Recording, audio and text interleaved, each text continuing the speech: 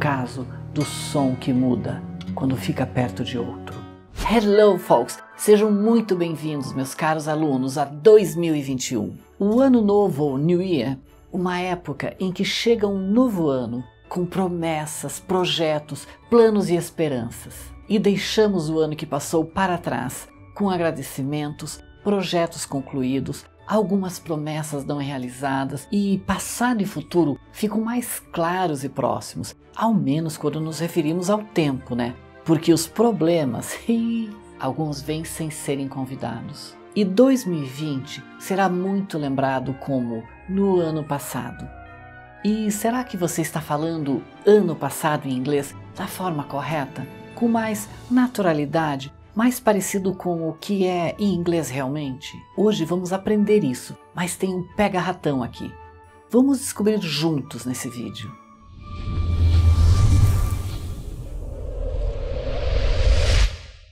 Se 2021 é o ano que você decidiu definitivamente aprender inglês, você não pode perder essa oportunidade. O curso de inglês Jamile Weber está com vagas abertas e vocês não vão acreditar quantas novidades maravilhosas nós temos para vocês aprenderem o inglês de alto nível. Ficou curioso?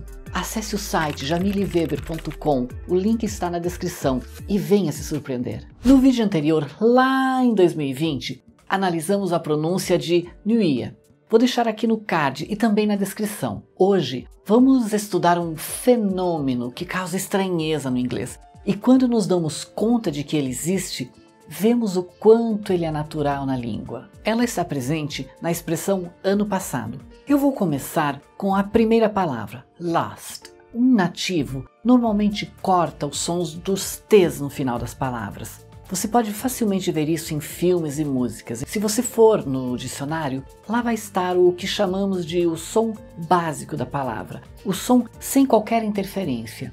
No dicionário, o som de last vai ser last mesmo, com esse t, esse t, no final.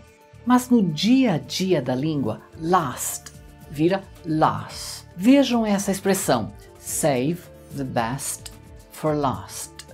Dita com naturalidade, save the best for last. Os T's no final podem ser ditos mais sutilmente, ou então eles podem simplesmente não ser ditos, save the best for last. Nós brasileiros temos uma necessidade de falar todas as letrinhas que estão lá na palavra, porque é assim que a nossa língua funciona, mas não no inglês. Não produzir esses T's no final ou produzi-los mais sutilmente torna a sua fala mais natural, mais leve. Ah, professora Jamile, mas eu posso dizer save the best for last? Não, não pode. Colocar esse i depois do t é um pecado grave no inglês e a tia não deixa. Save the best for last. O Matheus vai soltar uns vídeos de nativos falando isso.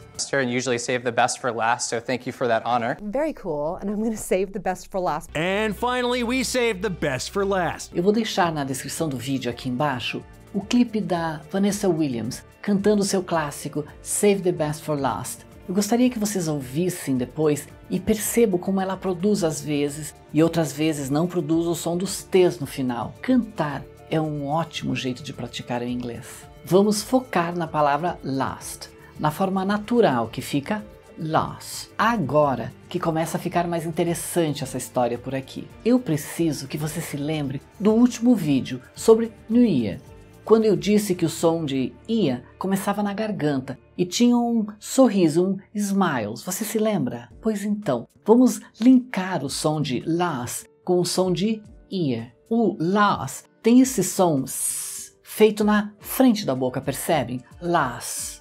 E o ia tem o som feito bem lá no fundo, na garganta mesmo. Essa distância toda entre um som e outro que precisam estar conectados faz com que o nativo acrescente um outro som. Isso mesmo, ele deixa de lado os e fala tch. Esse som mesmo com um chiado, de maneira que você vai ouvir last year.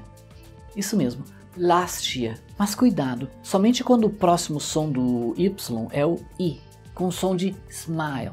Ia, ia, ia, ia. Perceberam que quando eu digo ia, há um movimento né, aqui no canto da boca. É como se fosse um sorriso mesmo. The Catholic Church pulled in 97 billion dollars last year. Uh, somebody who passed away last year who was one of the world's Last year, the world spent Quer ver? Quando eu digo em inglês ano passado e último item.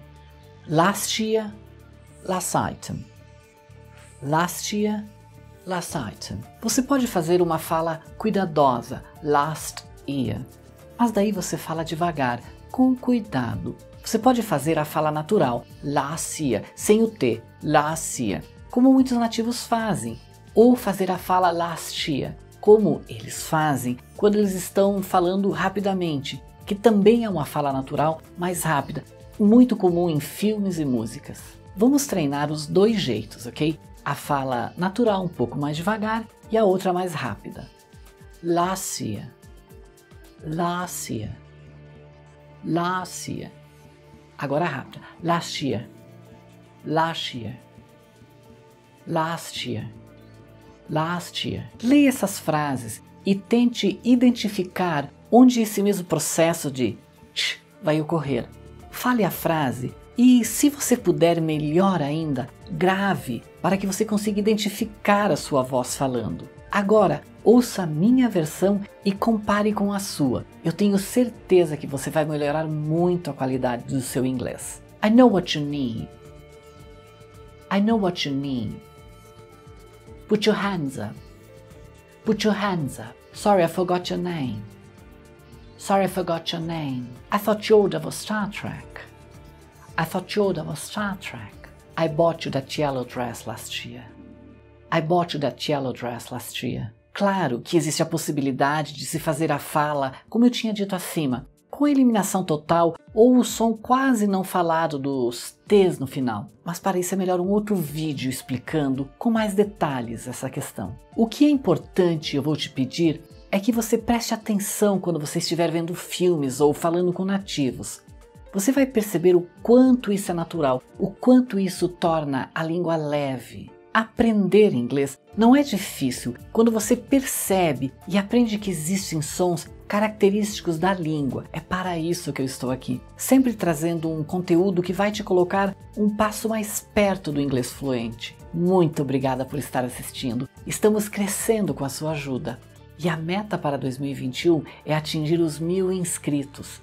E até o próximo vídeo.